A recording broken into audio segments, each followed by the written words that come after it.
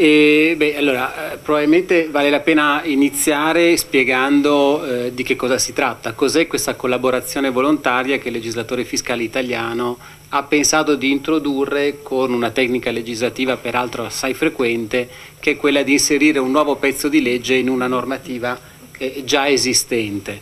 Ehm, dopo diverso tempo eh, il legislatore fiscale italiano ha eh, preso coscienza della necessità di adeguarsi a quello che è stato lo sviluppo internazionale eh, in materia di scambio di informazioni, che è quello che ha descritto poco fa il collega, e ha preso la decisione eh, di istituire un regime eh, di collaborazione cosiddetta volontaria, quindi che ciascun contribuente in propria coscienza potrà decidere eh, eh, di, ehm, di praticare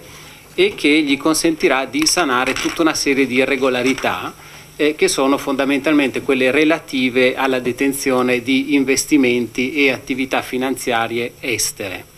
E sanare in che modo? Sanare con una modalità che non sarà più quella che abbiamo visto negli anni precedenti attraverso eh, uno scudo fiscale, ma con una procedura totalmente diversa che prevede il pagamento di tutte le imposte e il pagamento anche di sanzioni che sebbene in misura ridotta sono parametrate alle sanzioni ordinarie e, e quindi quelle previste per le violazioni eh, appunto che sono state compiute. Quindi il primo processo è prendere coscienza che l'oggetto collaborazione volontaria o voluntary disclosure non è nient'altro che la possibilità di pagare le tasse e anche le sanzioni in misura ridotta. Quindi non è una un'amnistia, non è uno scudo fiscale, ma è appunto una modalità di regolarizzazione della propria posizione.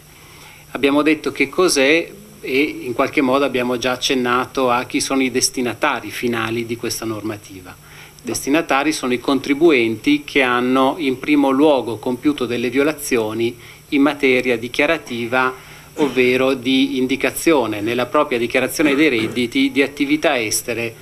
o di attività finanziarie appunto detenute direttamente o indirettamente all'estero. Si tratta per gli addetti ai lavori del cosiddetto quadro RW della dichiarazione dei redditi, ovvero quel quadro che nella dichiarazione dei redditi ciascun contribuente italiano è tenuto a compilare ove detenga attività finanziarie o investimenti all'estero. Ovviamente sanare violazioni di questo tipo comporta per il contribuente anche sanare violazioni che sono più lattamente dichiarative e quindi sanare i redditi che provengono da questo stock di capitale detenuto all'estero, ma soprattutto sanare le modalità con cui questo stock si è formato. E così abbiamo in qualche modo inquadrato eh, a tutto tondo quello che è l'oggetto della voluntary disclosure, quindi eh, sanare violazioni eh, dichiarative che comprendono la detenzione di stock all'estero, le modalità con cui questo stock di capitale si è formato